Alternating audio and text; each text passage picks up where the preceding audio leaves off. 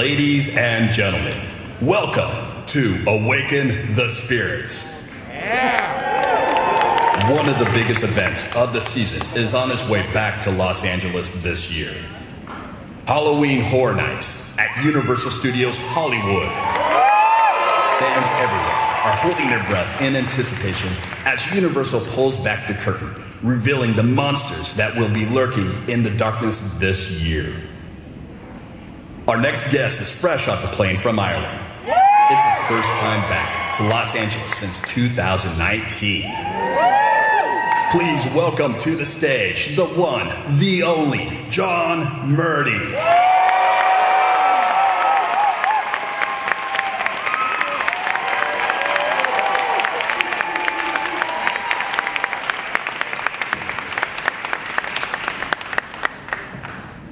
Wouldn't it be wouldn't it be cool if I did that and like I didn't have a mouth or something? wow, this is this is the most people I've seen in one place in like two years. How are you guys doing? Well, um, I'm John Murdy. I am the creative director, executive producer of Halloween Horror Nights at Universal Studios Hollywood.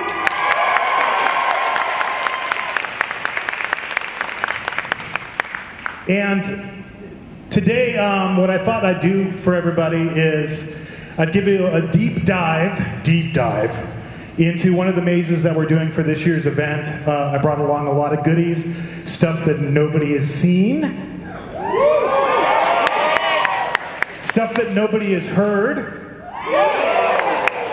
Um, I thought we'd also maybe um, maybe make an announcement. That's cool. But before we do any of that,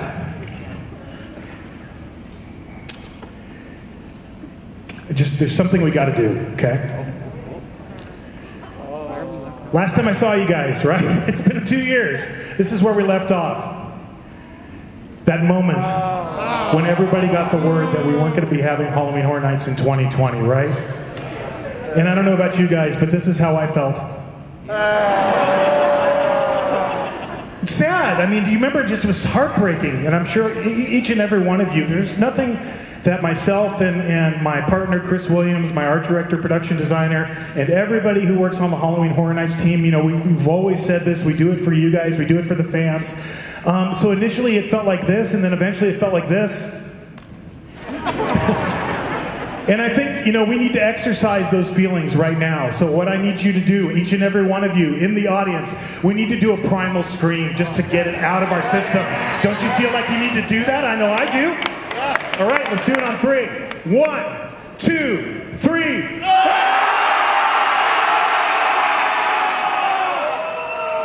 Feels better. And then eventually, as the year went on, it felt like this. And you know, that day, that day, that particular day in 2020, I went on Twitter first thing and I wrote a bunch of stuff. I don't know if you guys remember it or not. And what I kept saying is, the monster always survives, right? Because if you guys know me, I'm a huge Universal Monster fan. And actually, 2020 would have been the 50th year of me being a monster fan, because that was when I started, when I was just four years old. And um, to me, it was like the Universal Monsters. It was like Frankenstein, you know. Every movie, something terrible happens to him, like, you know, getting kicked in the chest and falling into a pit of flaming sulfur. Um, but there's one thing I know from all of those films, and that is no matter what happens at the end of the movie, the monster always survives. Right? And that's what I told you guys on Twitter back in 2020, right? I said, I know this is terrible, it's heartbreaking, everybody feels it, but the monster is going to survive. Halloween Horror Nights is that monster. It's the monster that each and every one of the people who work on our team, all the men and women, have created over the years. It's a monster that we share with all of you, the fans who've supported this event year after year after year. Um, and the monster has survived. So today I'm going to be taking you guys through a maze we call Universal Monsters, The Bride of Frankenstein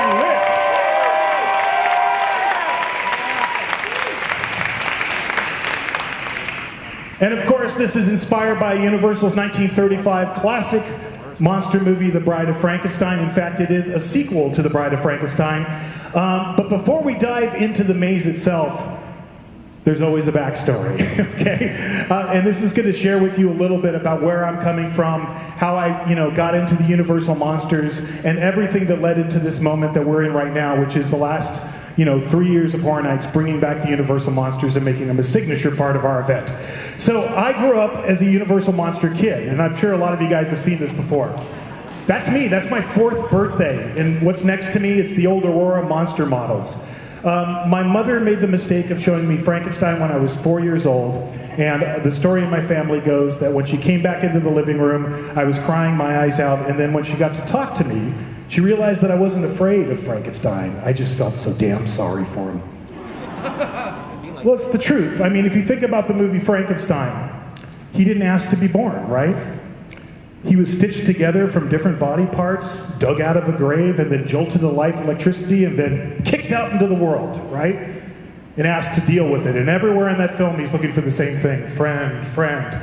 And everywhere he goes, he's met with hatred, men with pitchforks and flaming torches. And um, so I just instantly sympathized with the monsters, and that's the beginning of becoming a Universal Monster fan. Now, in the 70s, it was kind of a golden age for these movies, right? Um, they were back on television. I don't know if anybody in the audience will remember this, but Seymour's Monster Rally, right? On KTLA, every weekend they would run the Universal Monster movies, and that's how I saw all the movies. And there was also great magazines like Famous Monsters of Filmland. Um, that had the monsters front and center. And it really was kind of like a renaissance for the monsters in that period. There were toy products, these are the Mego Mad Monsters. There were Super 8 movies that you could watch in your own living room, like the Bride of Frankenstein movie there. Um, but kind of paramount above everything was the Aurora monster models, right? Um, when they released those monster models, um, I had every single one of them, and I meticulously built them all, and I painted them. And then one Fourth of July, my two older brothers blew them all up with firecrackers, destroyed them. If you guys know anything about the Aurora Monster models, you know, a, a kit from that era is worth about 1500 bucks now, which I constantly remind my brothers of. Um, monsters seem to be everywhere. And my favorite Aurora Monster model, and I'll go on record today as saying this was the Bride of Frankenstein, right? And that's kind of the genesis for this maze, right? How many of you have seen The Bride of Frankenstein? Okay. You know what's weird about that movie? How long is she in the movie? She's like five minutes at the end. It's like, hey, she's born. Oh no, Frankenstein's pulling the switch and blowing up the castle. And she's gone. And she never comes back. Not like Dracula or the Wolfman or the Mummy. She's in one movie, and that's it. Um, but I love this model, and it was my favorite model, so I've always had a special you know, place in my heart for the bride. Now, Halloween, of course, was the time to dress up as Universal Monsters. The costume choices were limited in those days. That's me as Frankenstein. That's me as Super Wolfman next to my brother dressed as the hippie. And uh, that's me as the mummy with blue uh, tennis shoes on. And then I learned that there was this place called Universal Studios Hollywood. And you could go there and you could actually meet the monsters. That's actually me grabbing onto that poor guy playing the Wolfman's hand. I probably followed this guy all over the park, you know, all day long. Wolfman, would you just? And the guy's just like, oh God, when's my break? You know, and that's me at Movieland Wax Museum and their in their Chamber of Horrors. If you guys remember Movieland, so the monsters, you know, the theme parks with a connection from the movies to actually seeing the monsters in the flesh. Um, and this is some old Universal Studios Hollywood history. I don't know how many of you guys remember this, but the Universal Monsters, from the minute the theme park opened, which was when the studio tour, the tram started, 1964, the monsters were always kind of front and center. Um, this is a picture I found in, in, my archive of old images of Universal. Uh, the guy with the axe, that's actually Jack Pierce. That's the man who did the makeup for all of the classic monster movies from the 1930s and into the 40s. And as part of the tour in the early days, in 60s, um, you could get made up by the Westmore family, right? Those are the guys who did Creature of the Black Lagoon and countless other movies. And that was all part of the studio tour.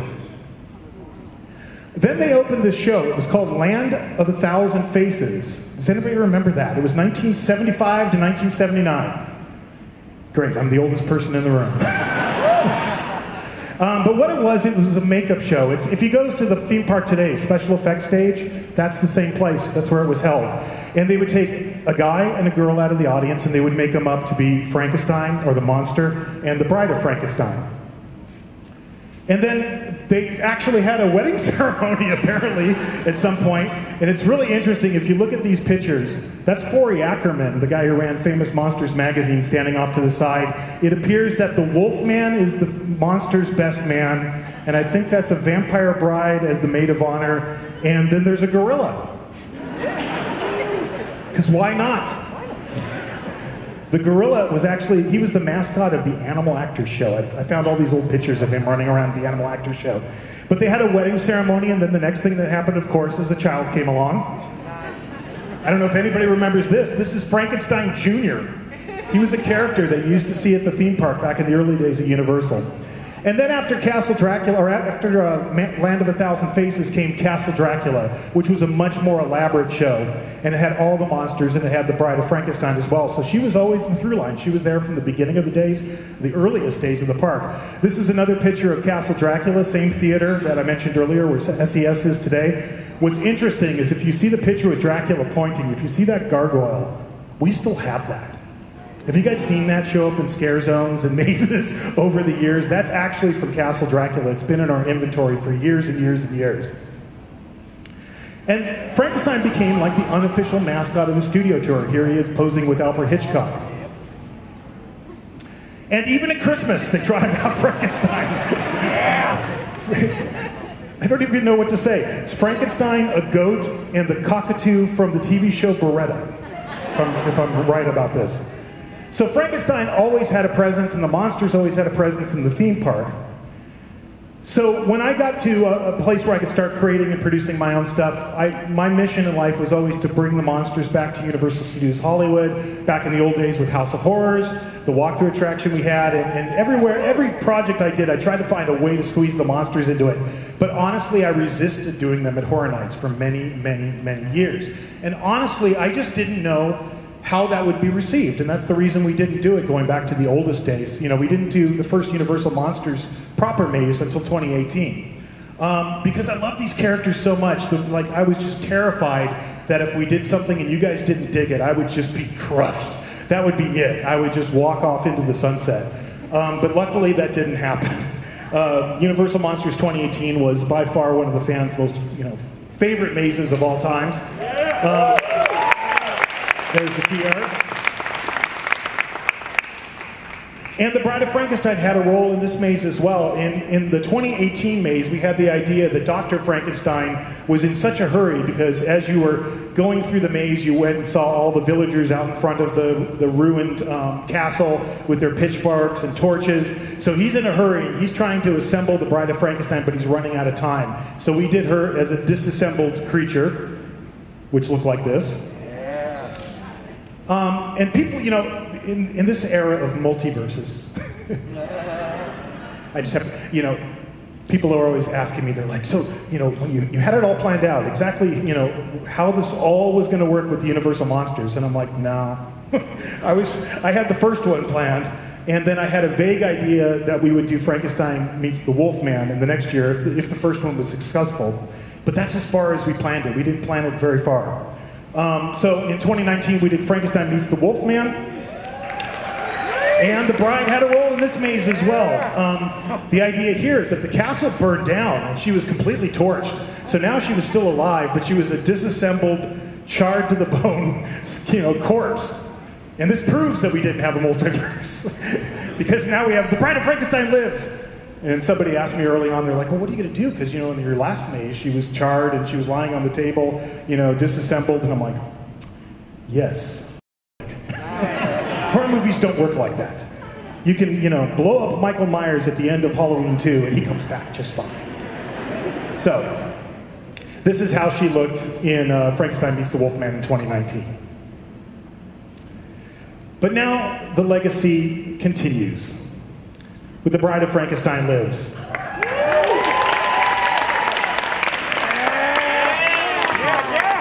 And I am very, very proud to say that once again our good friend Slash is doing an all new original score for this maze. Um, would you like to hear something? Yeah! Now watch this. I'll jinx myself and then it won't work. But yesterday was Friday the 13th, right? Good. Okay. If you wouldn't mind, I'll click to the next slide. We're just going to preview one of the tracks that he's doing right now. Um, this is for the very, very beginning of the maze. Let me see if this works.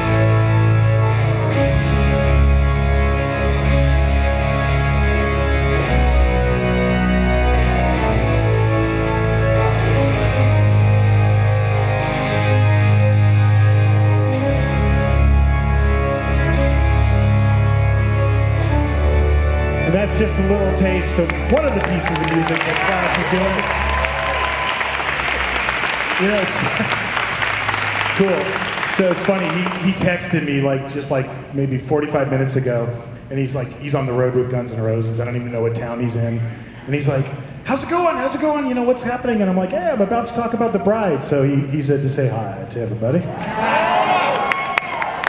Nicest man in the world. Um, the, the, the cool thing, like, even though last year everything that happened and, and everybody in lockdown, that guy was constantly, constantly texting and checking in. How you doing? Are you okay? Um, we're so honored to have him back and working with us again. It's been such a great collaboration.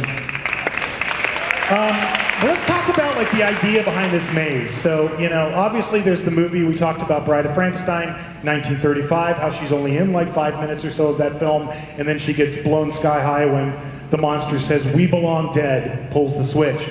Um, and to give credit where credit is due, this idea actually originated um, with our sister park in Universal Orlando. Uh, we were always talking on the phone and comparing notes.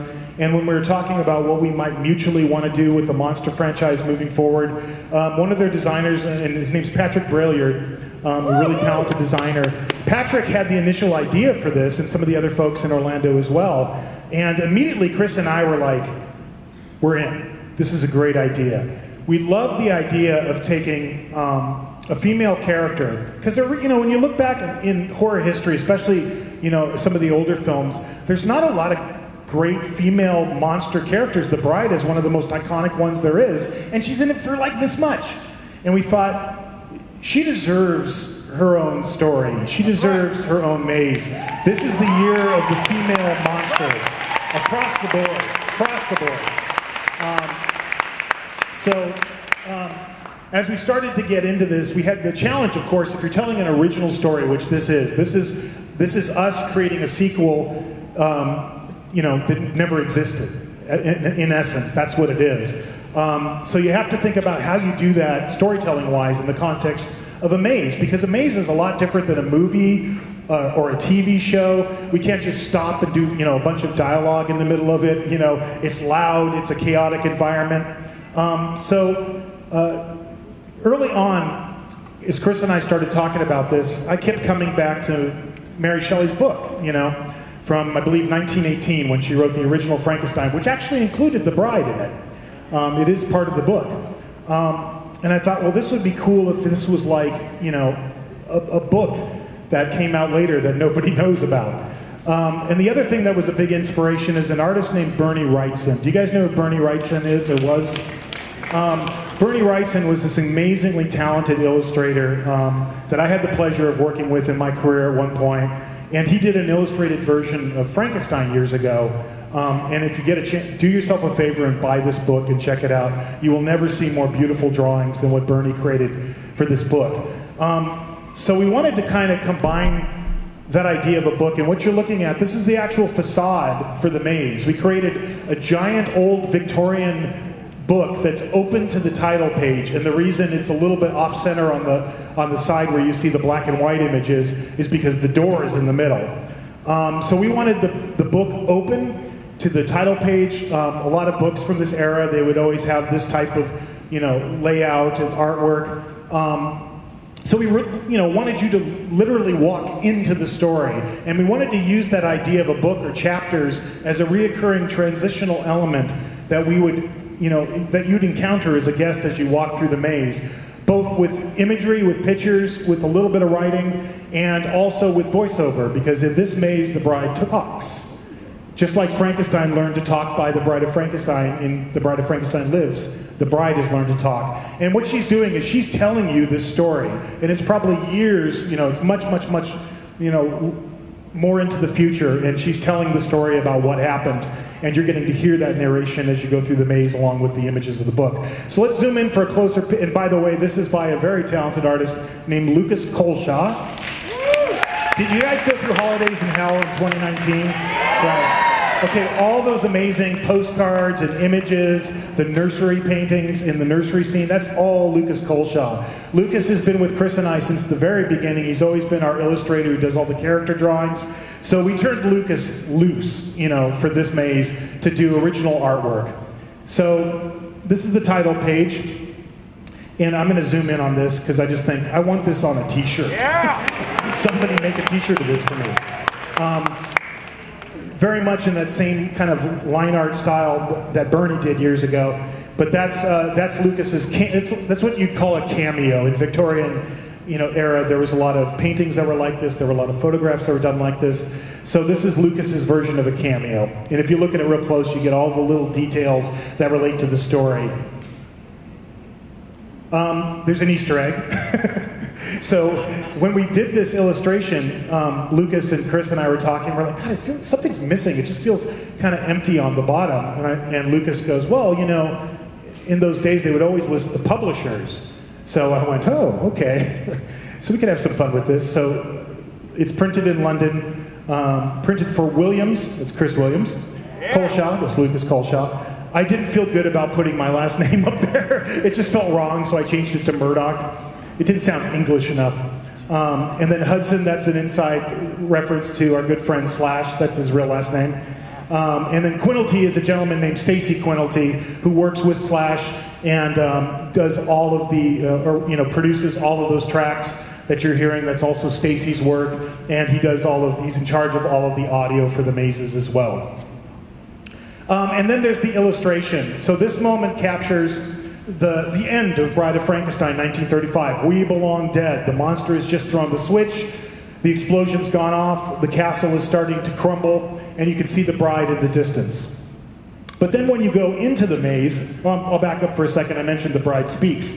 So, in her voice, we hear her out front as you're waiting to go inside. She says, My story begins where his story ended, but monsters never truly die. Um, so, the first thing you see once you walk through the book is the prologue page, which is this image. And the, the explosion has happened. The bride has survived because she's a monster, she can do that. Um, but the monster has been trapped underneath all this rubble. Huge beams have fallen from the ceiling. They've. Whoop, somehow we jumped like three slides. Do you want to manually go back or you want me to? There we go. One more.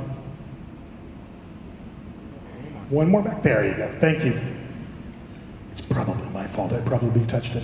Um, and his legs are completely shattered. Um, and she sees him and, it, and the prologue is called Something Survived.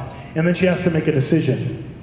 So, oh, the power of Christ compels you. The power of Christ compels you. There we go.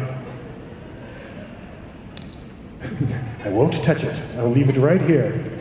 Um, so she has to make a decision, and the decision is does she save the monster or not? And she decides to save him. And the reason is because even though she got a little freaked out and screamed at him, um, he's the only one in her short, short life that showed him any kindness. So she decides that she has to save him. So this is the first time she finds a voice and says something.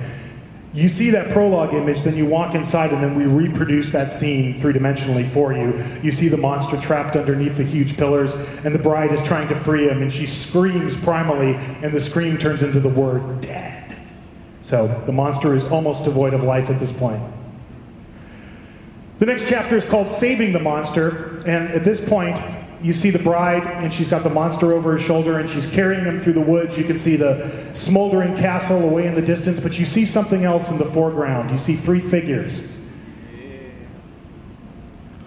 And then the bride in this scene, she goes through four different costume iterations and some makeup iterations throughout the course of this maze because we're telling this story of her adventure from going from the beginning, or I should say the end of Bride of Frankenstein, to her assuming the role as doctor at the end of the maze. So each of these iterations has a different wardrobe touch. So this is her traveling cloak look. You can see by her costume that she's, you know, the whole one side of her costume is badly burned, and her face, she's got this horrible scar from the fire. And she says, I had to save him, but the world outside the castle walls was full of monsters. And what monsters is that? The Brides of Dracula from 1931. So, hovering around the outside of the castle are the Brides of Dracula. Now, we've done the Brides of Dracula. We did them in 2018 for the Universal Monsters Maze.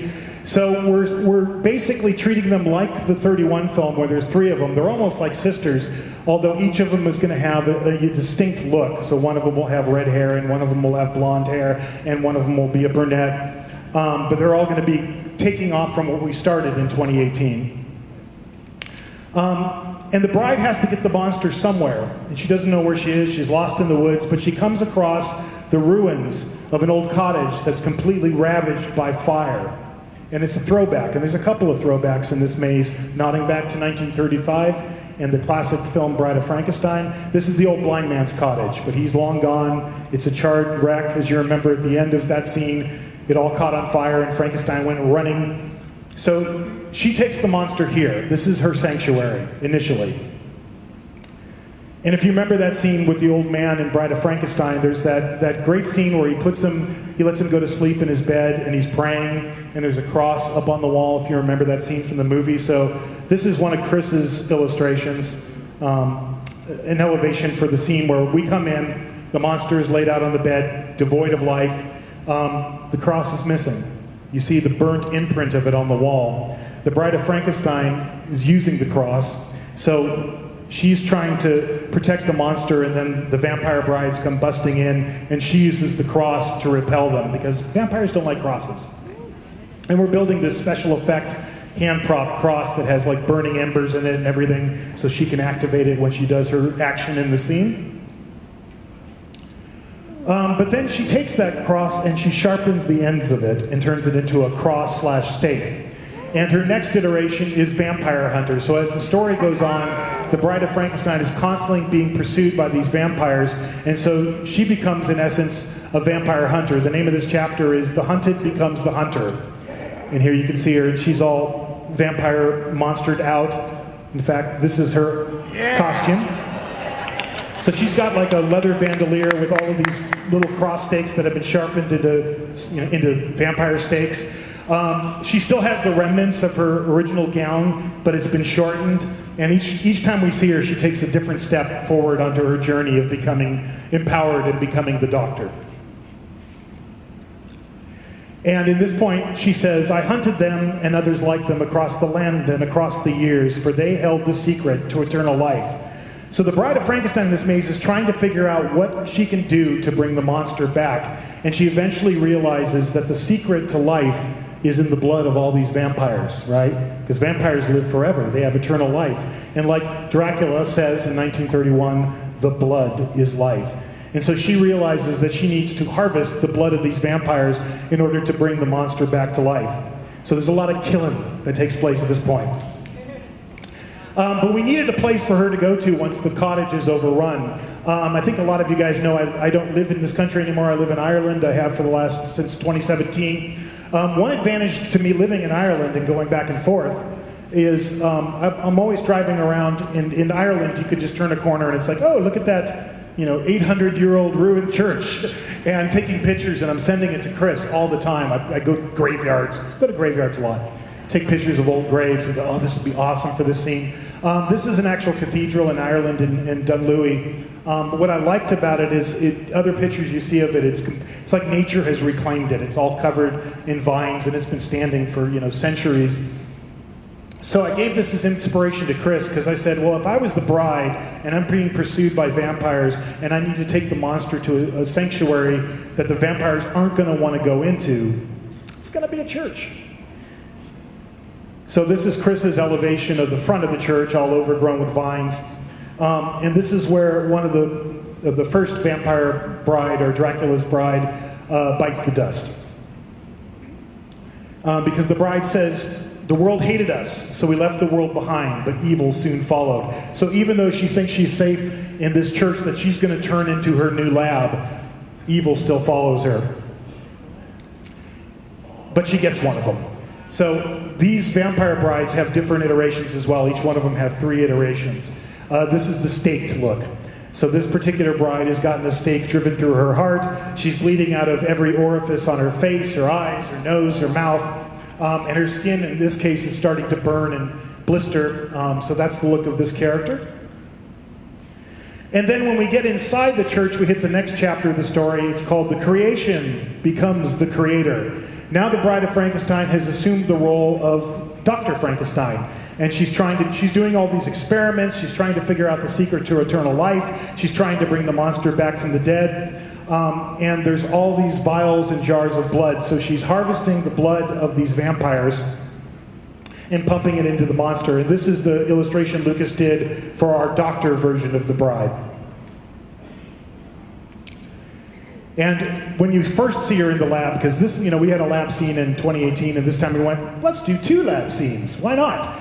So the first time you see her in the lab, when she's got the monster on the table and he's still missing his legs, and she starts pumping all this blood, she's literally draining it out of the, one of the vampires that she's caught and pumping it into the monster, and there's boiling blood, and there's you know all this different kind of lab equipment, but it's a little bit more steam driven because we're a little bit more in the future. Um, Chris did another illustration. This is an elevation of it. It's a lot going on in there. It's a little bit hard to read. But you see the vampire bride with all these tubes hooked up to her, sucking the blood out of her. And you see that they're still in a church, but she set this place up like her lab. Also, in this lab, as you get to the end of it, there's cages, and there's vampire brides in the cages, and it's the two other ones that we saw at the very beginning. Only now, the Bride of Frankenstein has been doing a lot of experimentation on them. Before she got around to figuring out, oh, it's the blood, she you know, did a lot of exploratory surgery. So one of them we call stitches, and one of them we call crosses. So stitches, she just cut open her head and was like, what's in here? This one's just part of her hair is missing and she's got stitches all over the place. And the other one was obviously just she just didn't want to deal with her and went, stuck the cross up against her forehead and burned it in. Um, and this is where it gets dark, because she's still a monster. As much as we're celebrating and saying we're empowering this character for the first time, she's a monster. Monsters do bad stuff.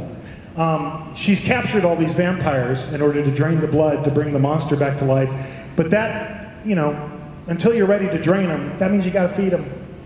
That means you got to feed them blood because that's the only thing the vampires subsist on. So there's a place called the feeding cages that you have to go through, and there's all these vampires in there, and bodies everywhere, and blood everywhere, and the vampires eventually break out. So on the night she's going to bring the monster back to life, she's got a problem. There's still two vampires running around trying to get her. Now, this part, as we go under the church and we're in the catacombs, this is very much inspired by the catacomb scenes from The Bride of Frankenstein. Specifically, this gate.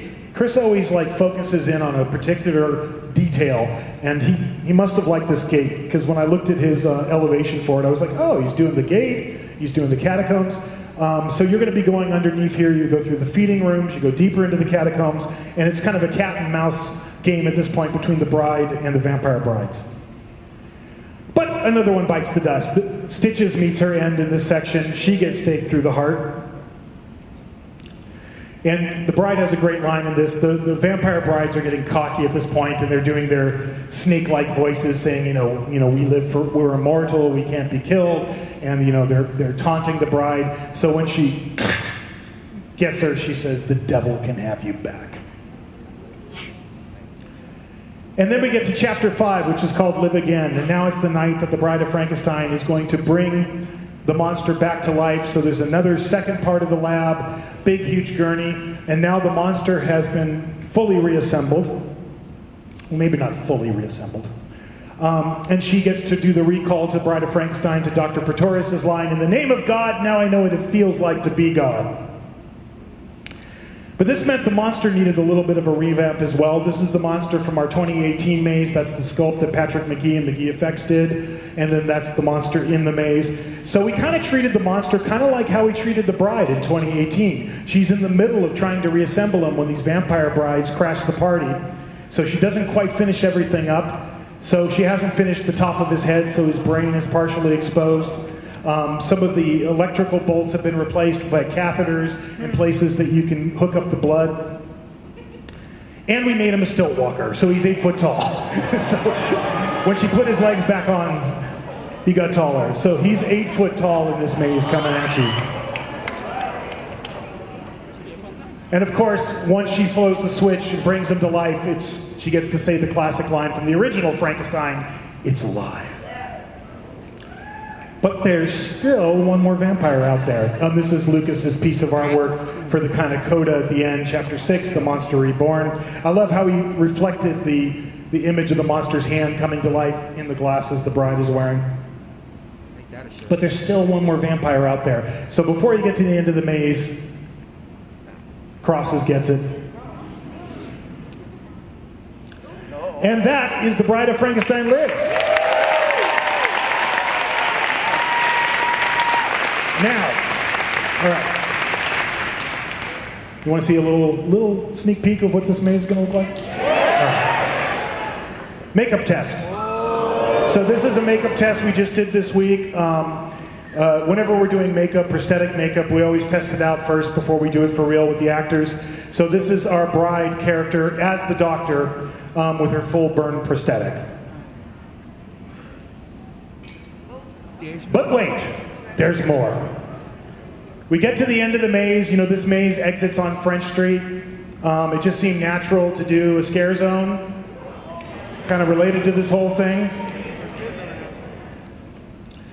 So we're doing Universal Monsters Silver Screen Queens. All right. So I said this was the year of the woman, the female monster, right? It's about time. Amen. Um, so we thought it would be really cool to dig deep into the Universal catalog and find some female characters from the past that have probably never, you know, had stories like this told about them since the original films, and do a female-centric scare zone that is the ending of the maze. So when you come out of this maze, you're going to see the bride triumphant as the doctor. You're going to see the still walking Frankenstein's monster as well. But you're going to see uh, female archetypes of some of the classic Universal monster characters, you know, mummy, werewolf, vampire. We call it Silver Screen Queens. And then in addition to this, as part of the like the decor of the scare zone, we thought it would be really cool to make trailers for each of these movies and the overall theme of the scare zone. Um, but to try to do them in the style of those old 1930s and 40s trailers, right? So like this. Men run in fear. Their courage vanishes, shrinking at the sight of the Silver Screen Queens. Oxunam the Mummy, The She Wolf of London, and Dracula's Daughter. Okay, so that means we had to design new characters, right?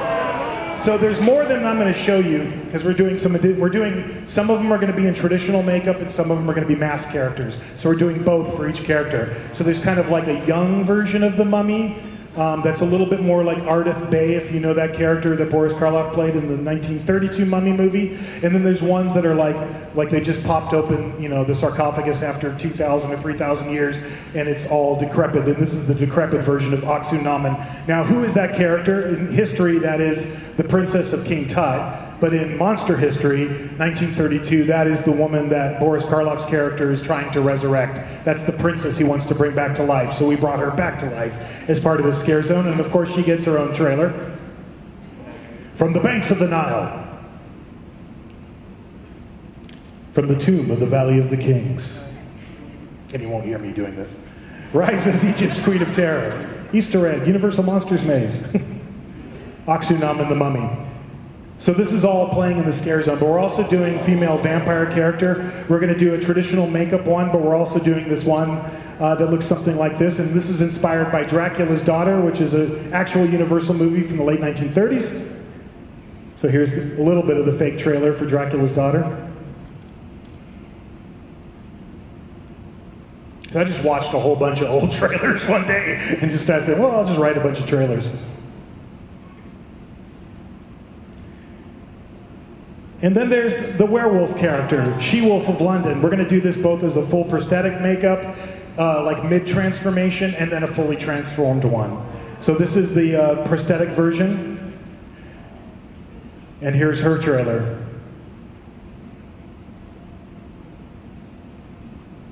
And there's no audio on this because Slash is providing that. He's doing a whole piece just for the scare zone as well. So that gives you a little bit of a flavor of what we're doing with that scare zone. All right. Okay. So, it seems like we should maybe wait make a little bit of an announcement. Is there anything you guys are waiting to hear about?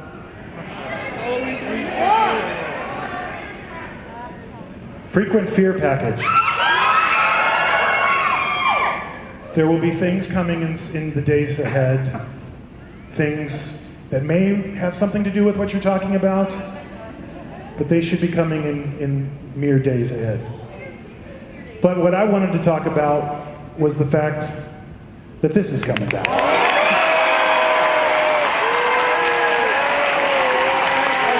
Terror Tram is going to return for Halloween Horror Nights 2021. Uh, I'm not going to tell you the theme today. Whoa. Sorry. Sorry. Got it. You got to, you know, you just got to give little crumbs until we get a little further along, and then we'll be there. But we did want to be able to tell you. I actually asked for permission. I'm like, can I just tell them the Terror Tram's coming back? Because I'm so tired of being asked that question like constantly. So yes, Terror Tram is going to be a part of Horror Nights 2021. You know, it wasn't there in 2019. A lot of you, a lot of you told us you wanted it back, right? We do listen to the fans, so it's back.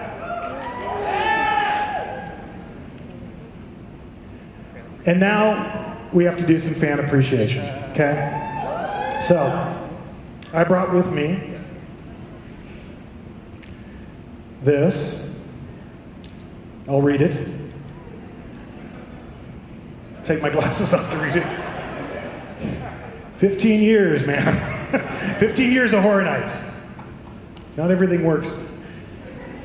Congratulations, you are invited to experience Halloween Horror Nights at Universal Studios Hollywood with two complimentary Universal Express tickets, including event admission. Well, they, I hope so. I mean, here's some front of line tickets, but we're not going to include the admission. Here, have fun. Including event admission. Well, I guess you have to spell it out. And, and an exclusive behind the scenes maze tour with presumably me. so, what we do this every time. It's a tradition of Midsummer Scream. We ask a trivia question, right? I pick randomly the first person I see, and you can't see anything if you're up here. You know, all you see is lights. So um, I pick somebody. They have to answer the question. If they get it correct, they will win two Universal Express tickets, including admission, and an exclusive behind-the-scenes tour with yours truly um, for Halloween Horror Nights. So, before I do this, though, there's something we absolutely have to do, and that is to say, oh, that hurts. Thank you. Thank you. Thank you, thank you, thank you, thank you. Um, I, you know, 2020 was tough. It was tough. I'm sure it was tough for all of you, right? And Halloween was tough. You know, I mean, I, I was in Ireland. You know, I was just hoping to go trick or treating with the kids. That was, I, I, I'd gone from, you know, producing this wonderful event for all of you, you know, wonderful people to, I just hope I can go trick or treating with my kids, just maybe two houses, you know, and then that got canceled. So, like, I did a haunted house in my house for two people. so desperate for anything, you know, Halloween. Because ever, as you can see from this presentation, ever since I was a wee lad, as they say in Ireland, um, you know, uh, Halloween's been my favorite time of year, and sh- I know you guys feel the same way. Um, but what it really brought home for me on a personal level, and I know I'm speaking for every single person at Universal um, and, and everybody who works on this event, is when you don't have something that you love doing, man, do you miss it. And what you particularly realize is how grateful you are to each and every person who has supported this event. I mean, I said this is my 15th year. It should be 16th, but it's 15th um, of doing horror nights, you know? And that is such an honor and a privilege to get to do that for all of you guys, to get to see people go through all of this work that everybody on this team works year round, nowadays, more than a year round, as I've been working on 2022 for four months. Um, no spoilers, though. we will not be talking about that. Um, but you really realize just how how important this community is of people that are like-minded people that love scary stuff, right? And when you guys weren't there, man, did we miss you. Um, so I just wanted to say on behalf of everybody at Universal, thank you so much for supporting this event. It means the world to everybody who works on this project. Um, you guys are the best and the most loyal fans, and um, thank you. And now I'm going to break your heart. Because this question is, well, it's not that tough. Could, I don't know, it might be tough. Okay, we've, we've already discussed what is to be had here. Two express passes with admission to Halloween Horror Nights and a behind the scenes tour with me if you can arrange it with my schedule. I'm on limited time. The question. Okay, get ready. Nobody yell it out. If you yell it out, that thing gets shredded. Okay?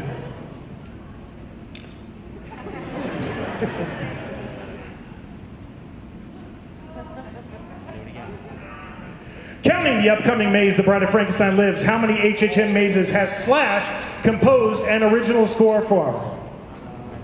I saw yours first. Oh, got, got to think about it.